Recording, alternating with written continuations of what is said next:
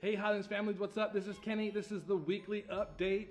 And it's not like an update. We kind of like kind of morphed into we just want to talk about the six things that matter the most.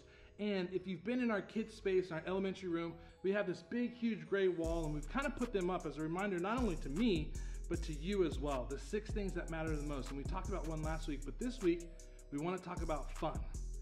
Because we believe that fun is one of the six things that matter most in the lives of our families here at Highlands and everywhere, to be honest with you. But fun over time deepens friendships. Now, here's one thing that I say, I'm just gonna be honest. Here's one thing that I say to my kids like, I'm not here to be your friend. and they look at me like I'm crazy, but if we read Deuteronomy 6, 7, and 8, like the, the primary goal, the primary responsibility as parents is to disciple our kids, to, to take the things that God has poured into through people and through scripture into our lives and share that with our kids. Like that's our primary responsibility.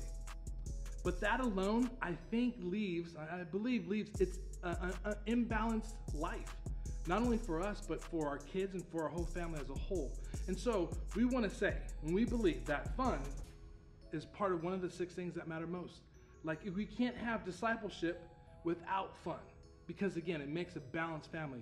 And so this week and every week, have fun have fun and not as you disciple your kids and be uh, disciple your family that fun is an integral part of it as well which creates a balanced family and makes room so that you can have and build amazing friendships with your kids i know that i'm we're deb and i are in a stage of life where we have older kids that you know have grown up and gone and left and got married and went to college and now it's that time where the friendships that we built, the fun that led to the deeper friendships that we built while they were in our house and going through elementary school and middle school and high school now have developed into very cool, cool friendships.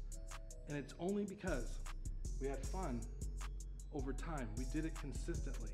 And so here's our here's our hope and our prayer is that as you primary primary priority that you disciple your kids, that you take the things that God has shown you and taught you in your life, and you pour that into your kids, that you would balance that out with fun.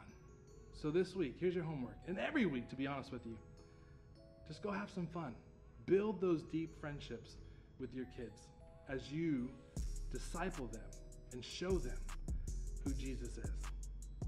Love you guys. Hope you guys are doing well.